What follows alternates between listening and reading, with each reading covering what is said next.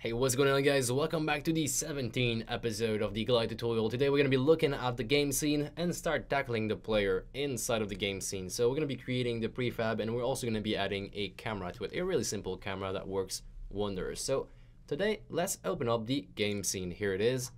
I am currently in the game scene. As you can tell, that's the same canvas we have pretty much everywhere with the fade and then beneath the fade there is the game scene.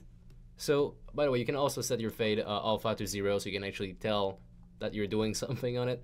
Um, the code actually makes sure that it is alpha 1 when we start the scene. So let's head down very, very close to the origin. And this is actually where we're going to be dropping our player model. So let's head over to the artwork, model, and drop a plane here.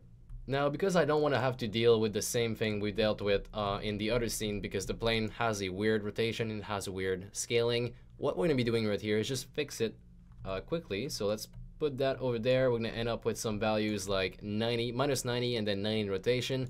Let's put the pivot point at 0, 0, 0, and the scaling, let's just leave it like that for now. Uh, since I don't want this to happen, I am going to actually rename this to model, then right click, create empty, and that is going to be my player, the empty game object. This one has to be at 0, 0, 0 as well, and then we're going to drag and drop the model under player. This way, this is now our player, and he has some proper values. As you can tell, this uh, the Z is pointing forward, and the Y is pointing upward.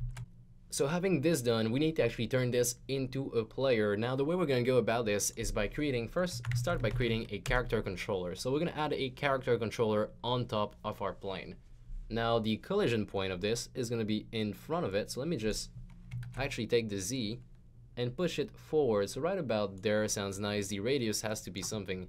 Uh, 0.5 is good, but the height could be 1. 1 is perfect. So we just need to have a uh, collision point right about there. And that is fine. If you want to make it wider, it's up to you. If you want to just pull it back, it's also up to you. But but either way, this is going to work. So something like this, the back of the plane uh, is not really being touched since we're always going in the same motion. We're always following the uh, the neck of this. So this is going to work. The next thing I want to add, and make sure you actually add this to the to the, the player, not the model itself. We're going to be going back on the player and we're going to add the menu player just for now just so we can test out our camera now of course this is not going to be the final movement script this is only to give um, you know give some motion to the player while we're coding the camera so we can actually see if it's following it or not. Right now it's definitely not following it. So back on the main camera we're going to add a new component. Let's call this one player camera.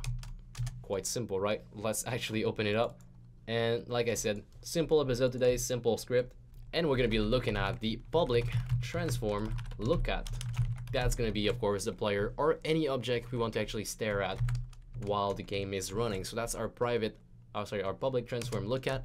And after that, private vector 3, desired position. You're getting used to that right now, but desired position is going to be uh, where we're supposed to be. And then let's add a offset as well. So private float offset, I like to put that on a 1.5 and a private float distance in between the camera and the plane.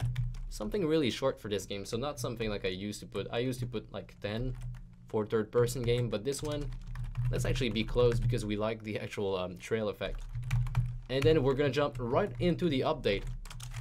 All we have to do is of course update the position and then update the rotation. Both of these can be done really simply by doing desired position is equal to look at that position. And then we're gonna do plus look at right times the distance. So all we need to do on this side is say look at dot position and then push our camera forward, actually backward by um, the distance. So in this case, let's do transform dot back. Do we have a transform dot backward? We don't. So let's do minus transform dot forward times distance. Let's actually make sure we wrap these into parentheses at the same time, just in case. And we're also going to be doing plus the offset, so plus um, transform up times the offset. That's going to be only a, um, a offset in the y-axis. It's also going to be useful for wherever we're looking at. So once we have this desired position, we're going to do the smoothing. The smoothing is done by doing a lerp. So transform dot position is equal to vector3 dot lerp, and we lerp in between the current position and also the desired position I like to use um, I like to use something like 0.1 but in this case that's gonna be too fast. So maybe maybe actually go for some time the delta time but that's also not gonna work. Okay let's go for something like 0 0 5 if we don't like it we can actually crank it up or crank it down. As far as the rotation go all we have to do is transform look at and we're looking at the uh, specific position. Let's not do look at like this because this is going to lock on the transform. We don't really want to be looking at the transform.